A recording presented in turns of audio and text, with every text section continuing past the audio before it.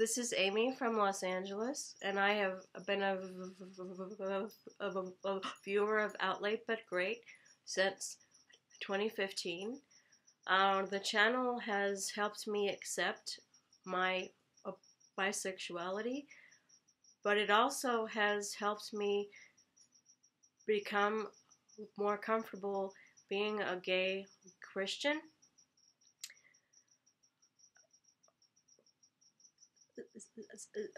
So I find it a um, um, a ministry opportunity as well as a daily support group. I wish you a very happy seventh birthday, and I look forward to uh, many more years of um, conversation.